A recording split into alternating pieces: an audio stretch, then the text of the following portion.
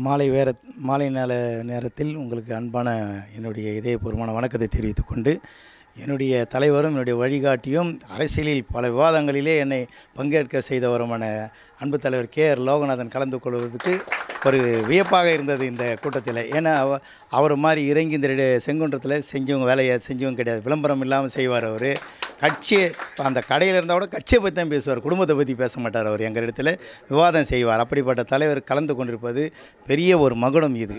ஏன்னா ஏ, த தம்பி பாஸ்கர் சொன்னது போல் அலிமல் புகாரி வந்து எப்போது செங்குன்றத்தில் வந்து சிறு சிறு நிகழ்ச்சிகள் சிறு சிறு நிகழ்ச்சிகள் தான் அவரை பொறுத்த அளவுக்கு. அவர் வச்சிருக்கிற டார்கெட்டே வேறு. ஆனாலும் அந்த நிகழ்ச்சிகள் வந்த பிறகு பாஸ்கர் சொன்னது போல் இப்போ எந்த பகுதியில் எழுச்சியாச்சோ இல்லையோ செங்குன்ற பகுதியில் பெரிய ஒரு எழுச்சி ஆகிவிட்டது. இது வந்து ராஜீவ்காந்திக்கு வந்து அப்போவே அந்த காலகட்டத்திலே ஒரு சிலை திறந்தார்கள். ஆனால் அந்த சிலை இருக்குதா இல்லையான்னு தெரியல. பராமரிப்பில் இருக்குதா? இன்னும் எனக்கு தெரிஞ்சு மூணு நாலு வருஷம் ரெனிவேஷன் ஒர்க்கில் ஓடி நிற்குது முறையான முன்னெடுப்பு இல்லை என்பது தான். ஆனால் ரெடில்ஸில் வந்து நான் குறை சொல்கிறதுக்கு தயாராக இல்லை.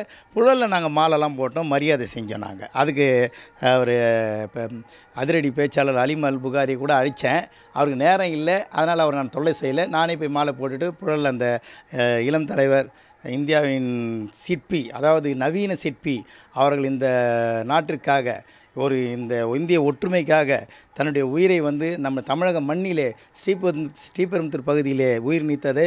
நம்ம எல்லாம் ரொம்ப ரொம்ப கேவலமாக தான் நினைக்கிறோம். வருத்தமாக நினைக்கிறத விட கேவலமாக தான் நினைக்கிறோம். கேவலமாக நினைக்கிறது வந்து ஒரு பெரிய தலைவரை ஈடு செய்ய முடியாத ஒரு பெரிய தலைவரை எழுந்ததற்கு நாமும் ஒரு காரணம் என்ற வகையிலே. ஏனென்றால் அவர் வந்து எந்த தமிழர்கள் என்று பார்க்கவில்லை இந்தியர்கள் என்ற அளவிலே ஈழத்தமிழர்களுக்கு கை கொடுத்தார். கை கொடுத்ததை இழுத்து விட்டு அவரை வந்து உயிரை எடுத்து விட்டார்கள் என்று தான் சொல்ல முடியும்.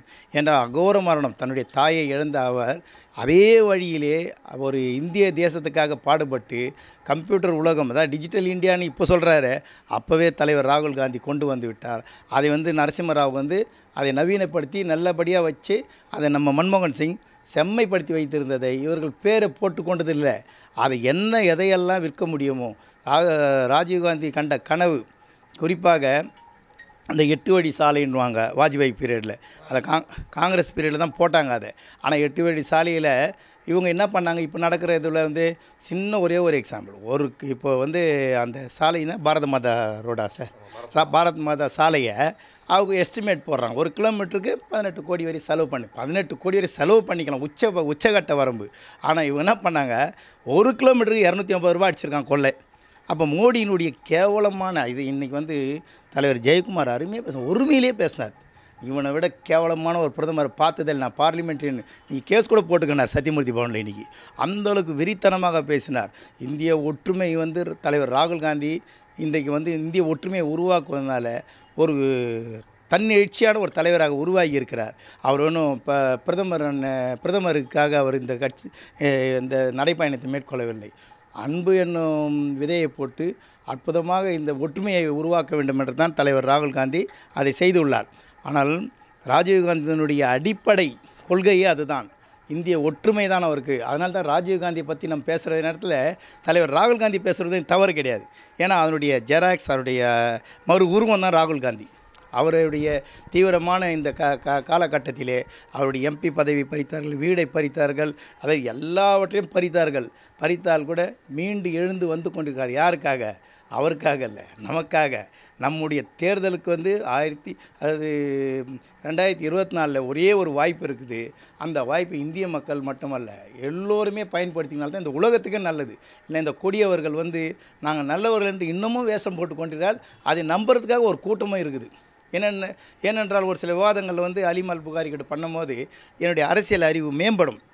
மேம்படுவதில் தான் இதை தொடர்ச்சியாக நான் பேசி கொண்டிருக்கிறேன். பல விஷயங்கள் இருக்கிறது. பதினெட்டு கோடி வந்து இரநூத்தி ஐம்பது கோடி மட்டும் தரவுகள் இவள் வைத்தில்லை. அந்த காப்பீடு திட்டம் மருத்துவ காப்பீடு திட்டத்தில் வந்து ஆயுஷ்மா என்ற பெயரிலே பாரத மாதா என்ற பெயரிலே ஏழு திட்டங்களில் பா பதினேழு லட்சம் கோடியை பதினேழு லட்சம் கோடி நல்லா ஞாபகம் வச்சுங்க. பதினேழு லட்சம் கோடி வந்து சிஐஜி ரிப்போர்ட்டில் சொல்கிறாங்க ஆனால் வெறும் ஒன்றே முக்கால் லட்சம் கோடி. யார்? டூ ஜியில் சொ செஞ்சதா சொல்லி கனிமொழியும் ராஜாவும் உள்ளே தள்ளினாங்க. அரசாங்கம் நம்முடைய அரசாங்கம் வீழ்ந்தது. அப்புறமா வந்து அதோ அதாவது நம்ம களத்தில் பலி கொடுத்தோம்.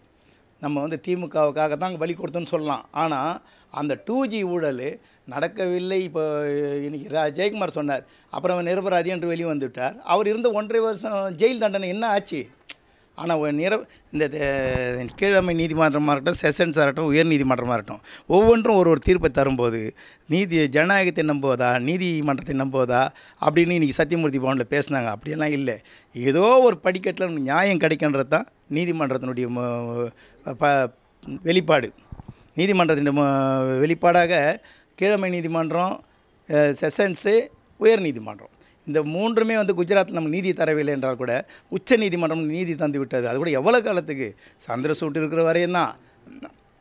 அவரும் போயிட்டான்னா ரஞ்சன் கோகை மாதிரி ராஜ்யசபா எம்பி வாங்கிக்கின்னு ரெடியாக இருப்பாங்க. மணிப்பூரில் வந்து ரெடியாக கையெழுத்து போட்டு வச்சுருந்தான். எப்படி? ஒரு ரிசர்வேஷனில் வந்து இருபது சதவீதம் இருக்கிறாங்கன்னா எண்பது சதவீதம் முன்னேறிய வகுப்பினர். ஆனால் அவர்களையும் எஸ்சி என்று போட வைத்தது நீதிபதி ஒரு நீதிபதியால் தான் நடந்தது அந்த அநியாயம். அந்த அநியாயம் பட்டது நேற்று முந்தா நாள் வரையும் கொலை கொள்ளை மூன்று இளைஞர்களை கொண்டிருக்காங்க முந்தா நாள் கூட. இன்னும் மணிப்பூரில் அமைதி திரும்பவில்லை. ஆனாலும் இந்த இந்த ந- இது ரா ராஜீவ்காந்தியுடைய பிறந்த நாளிலே ஒரு சபதம் ஏற்று இந்திய நாட்டை அமைதிக்கு திருப்புவோம் என்று கூறிக்கொண்டு இந்த மாலை வேலையில் எனக்கு வாய்ப்பு கொடுத்ததற்கு நன்றி வணக்கம்.